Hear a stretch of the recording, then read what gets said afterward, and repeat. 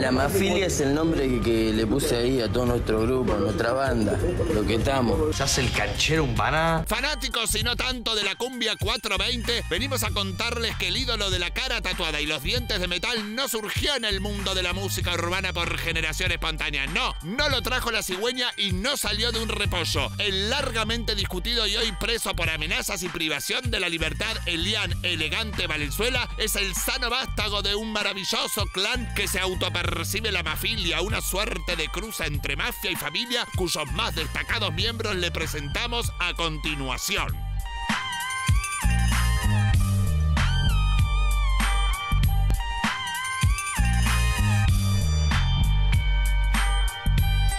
Con ustedes, la mafia en este capítulo.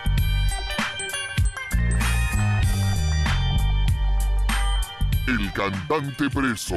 No hay buenas noticias para Elegante. amplían la acusación contra Elian Ángel Valenzuela. ¿Quién es? Agravado por ser funcionario público la víctima. Uh. Es un delito aún más grave y se complica aún, aún más la situación. Está hasta los huevos. Esto tiene una pena de más de 20 años de cárcel. Ojo, ¿eh? Esto es grave. El manager bardero. Los audios también con algunos referentes de, de narcotráfico de Rosario que también están a la vista. Digo, no es que también hay que decir las cosas así como decimos. Esos audios son mentiras, lo que pasa es que vos te crees todo. Escuchame, No, no, yo te esos estoy audios preguntando, no es la voz de Elian. No te enojes con él, porque él... No, Eh, pero, yo te estoy preguntando, Maxi. No, no, es ya Esta que. es la pregunta. te Yo no me enojo. Pero no, pero lo estás afirmando. Hay audios. No, no hay audio. Es un imitador. Bueno, bueno, tranquilo. ¿Querés que te lo haga yo la voz de Elian? Eh, elegante que lo que. Es lo mismo, boludo. Maxi, Maxi, Son artistas Maxi, que tienen huellas Maxi, vocales Maxi. fáciles de imitar. No, Maxi, No te- con no te respeto. con él, Dale, con respeto. Vos tra- tranquilate, tranquilate. ¿Quién está hablando? Que me dijiste 33 veces mi nombre. Maxi, Maxi, Son artistas Maxi, que tienen huellas Maxi, vocales Maxi. fáciles de imitar. Con Tranquilo, respeto, Leandro. Yo hablo así, yo hablo así. Lo que pasa. bien. Sí, sí, lo sí. que pasa. ¿Sabes lo que pasa? Que si pinchás y no querés que salte, entonces ¿por qué me Yo pinchás? lo conozco a un pibe respetuoso. Yo no te pinché, yo dije que- No, más Si que es nada respetuoso, tiene que me dice, Maxi, Sí. eh, quiero Bueno, vas a hablar decir cómo del la tema nota, de los audios estos. Te pregunté el tema de los el, el tema de Eso los es audios. respetuoso. No, no, no, La pico, eh, la pico. Bueno, me vas, a, me vas a decir a mí cómo No, yo no me enojo, me cago en la risa. si Maxi. Maxi, insultaste. Preguntá lo que quiera, a ver, Rey, dale, bien. dale, Maxi, preguntá lo que estamos hablando bien. Con tranquilidad. No insultes. Te Estamos llevo. Maxi, a lo que va a, llegar a pasar Oh, está re nervioso. Habla bien, dale. Pero se están matando, se dicen de todo. Sos un mala leche. no, no hay mala... Pero no te Sí, saqué, Maxi. amiguen, ¿Por qué insultás? No te estoy. Ya te- No soy mala Yo no me saco. ¿Quién te, quién te está Te insultando? Estoy preguntando al contrario. ¿Quién te Uno, gana de escucho- hablar tenés. Maxi, Maxi, yo lo escucho a elegante, yo lo he defendido un montón a elegante, siempre al aire lo defiendo a elegante, lo he ido a ver a recitales Sí. elegante. Así que que me pedías vos mala leche Muy sin bien. conocerme, la verdad que no. ¿Qué canción te gusta? Es, cualquier- es- es cualquier cosa. La, ¿Qué la de canción Tumbe, te la, la- de la canción, la que, hace la, Lea? la- la que hace con Sebastián Ortega en la, con, con el palito Lescano, la de Damas Gratis. La, la ¿Qué de Tumbe, la, Lea? la- la de la canción, la que, hace la, Lea? la- la que hace con Sebastián Ortega en la, con, con el palito Lescano, la de Damas Gratis. La que Ah, hace sí. en conjunto, ¿no hace una canción en Pinta, conjunto? pinta. ¿Hace una canción conjunta o no hace Yo una tengo esta pinta porque pintó visera, gafas, sí. Bueno, ¿hace una Sí. canción o no hace una, una canción conjunta? ¿Qué tomaste hoy? Mucho Red Bull, mucho Red Bull. No, pero- No malo, escúchame. ¿Pero por qué te haces el malo? Si te estoy diciendo, te estoy contestando Está muy acelerado. No, no. ¿Quién se hace el malo? Mira cómo estoy pata, mira cómo estoy pata. Bueno, Leandro, Bueno, se terminó la por tu culpa, chao. No, Sí. bueno. Un segundito. La madre afligida.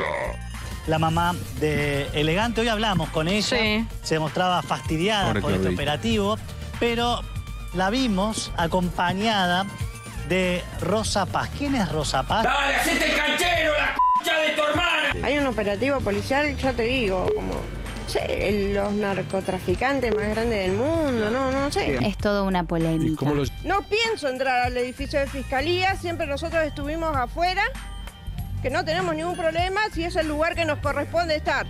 Y me parece que esta es la ocasión en que él necesita el apoyo de la familia, de los amigos y del público de él. ¿Lo entendemos? Entonces me parece una aberración que ni siquiera los padres, los hermanos nos dejen entrar para que él sienta el apoyo de nosotros ahí. ¡Saquen a los pibes!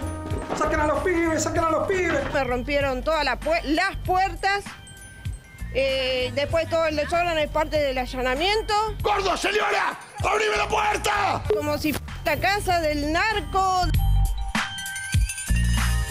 El padre que reapareció. No me cierra, no me cierra que yo vaya a secuestrar a una persona en la puerta de mi casa y sin un arma. Ajá. Esto es un cometillo barrio, ojo, eh. Ajá, ajá. El delito se fabrica, el delito se fabrica hoy. Mm, Pulp Fiction. Si lo van a dejar detenido, eh, déjeme hablar, si lo van a dejar detenido y después investigamos, está mal horno. Estamos en un país. no estamos al horno, Miguel Ángel, porque Estamos su en hijo un ya país- tiene causas abiertas.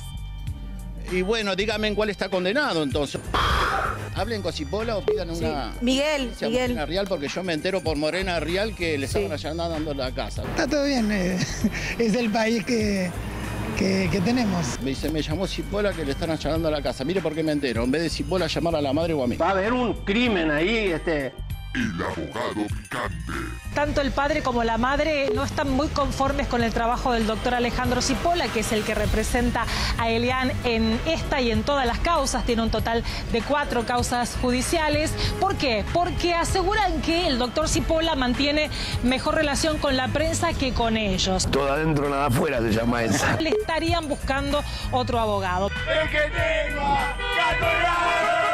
¿Cómo se llama la, la, la, la- la matria? ¿Cómo era lo la mafilia. Ah, ¿qué, qué es la mafilia, este, Alejandro? Dale, ponelo. Es un movimiento musical eh, de Ilian y nada más. ¡Corre, corre, Huguito! ¡Ay, ya! ¿Va quedando claro cómo se compone el círculo íntimo del cantante? No vamos a decir que sea un círculo vicioso, pero con estos antecedentes familiares, ¿quién necesita antecedentes penales, no? Mientras tanto, a cruzar los dedos. Está bien. Si quieren se lo pueden analizar desde el punto de vista, uh, ¿qué de quilombos que hace este pibe de General Rodríguez que dice hizo famoso componiendo música en una notebook? eh, bla, bla, bla. Bueno, eso, todo eso ya lo conocemos. Ahora, hay un origen que por ahí están para debatir que no darían varios bloques de este programa. Pero como en Francia ocurre algo parecido con artistas que vienen de barrios muy populares y además lo, lo expresan así, hasta lo expresan en las canciones. Y lo decía un rapero estadounidense. Yo tengo todos estos millones, tengo este auto, un autazo, ¿viste? infernal, las cadenas, todo, y sigo siendo un negro del Bronx para la sociedad norteamericana. Hay implícito eh, todo el tiempo una segregación a lo que representan estos pibes en la sociedad, si vos querés, de clase media, incluso clase baja, que por ahí este, no entiende bien la música y no entiende bien los códigos. Yo no estoy justificando nada, estoy hablando de, eh, de- de cómo, del origen de todo esto, de, de- de barrios que generan mucho arte popular, pero que también hay mucha bronca social que se, se expresa en estas cuestiones, ¿entiende? Sí. Y Clasista, pasa ¿no? que... ¿eh? Clasista. Es como una lealtad de origen que Sí, tienen. Sí. No, y además su grupo de Después los amigos problemas es que tiene ese. la justicia, bueno, Igual- tendrá que Igual también tenemos que entender que una persona puede tener aspectos virtuosos, como los artísticos, y, aspe- y aspectos de- eh, defectuosos, como su conducta social. Tal vez Obvio. Elian, ¿no es cierto?, falla mucho en lo que tiene que ver con, con su conducta social y no, por, e- no es contradictorio con que sea un artista Claro, talentoso. no, pero además tiene digamos. 23 años, creo, ¿no? 23 tiene, digo, su grupo de amigos del barrio sigue siendo el mismo. Él se hizo, bueno, no sé si millonario, pero ganó mucha plata, compró casas, autos, todo, pero eh, la gente con la que se junta no es que la cambió ahora Pero por, sería por una todos chicos de virtud. Norte. Yo, mis amigos del barrio siguen siendo lo mismo. El tema es que no se le peguen algunos hábitos que no está bueno que tenga porque termina preso. Claro. Y la madre y el padre van a sufrir, sus amigos van a sufrir. Eso sí, pero no está bueno tener plata, los mismos amigos. Quizás lo que no me es que por ganar plata cambió todo su entorno y dice, se empieza a juntar con chicos de No, barrio pero el ganar Digo, plata se y ser se sustentable y productivo hace que pierda la excusa de decir me porté mal porque no tuve oportunidades. Eliana está teniendo oportunidades, la vida le está dando oportunidades. Si mete la pata y infringe la ley, no tiene la excusa, ¿no es cierto?, de que lo hizo impulsado por su pobreza. Ojo con este otro, Otro. Maxi el brother, otro que está para panelista. Entre este y Morena, Sí. ¿sabés que no? Este, qué Pero rápido llevo a Maxi el brother y Morena Real para un programa, Sí. uno en cada punta. Y el ¿Sabés qué quilombo que Y te olvidaste del padrastro. Porque el padrastro que estaba hablando ahí también es, es terrible padre. contestando. Todos Padre. son. El, el- no, el No es el pa- padrastro. el padre, el, padre, ¿no? el padrastro, el Maxi marido de con madre. gorrita lo quiero a Maxi, ¿eh? Sí, Frodito. También hay un problema con, con respecto, obviamente no, en términos legales hay que ver qué, qué pasa con todo Sí. esto, pero con las cosas que se inventan alrededor de una figura pública. Siempre te terminan inventando un montón de cosas y que obviamente son muy vivos muchas personas porque te inventan con pequeños errores o cosas que uno, que uno tiene o de dónde uno viene o la historia que uno tiene de vida Y eso también es muy jodido de manejar. Bueno, pero Por acá no ejemplo, hay- acá no hay- me no, no, parece no, que acá- Es cierto que la Obviamente, sí, tiene una mirada de los distinta para los sectores más vulnerables. Igual, obviamente- No sé si es este caso, pero en general tiene una mirada distinta, más prejuiciosa. Si le pasa eso a un señor de saco y corbata, Sí, piensan otra es cosa. verdad, por eso digo, esa mirada segregacionista la Sí. sienten desde chiquitos. Sí. Y aunque Sí. gane dinero y aunque antes te compres el auto más caro, la siguen sintiendo. Es verdad que si cosas parecidas a esta la hacía Ricardo Ford, ay, el millonario, Claro, viste, el sea chocolatero. Sí, ¿A igual me, me parece igual de peligroso. El video que estamos viendo de atrás, que está eh, un amigo con un arma, me parece igual de peligroso que si lo hubiese hecho Ricardo o lo haga elegante. Sí, y también sí. la madre, que obviamente como madre yo le entiendo, eh, que ella eh, dice, defiende a su hijo y pide a los fans Sí. y al público que piensen en su hijo.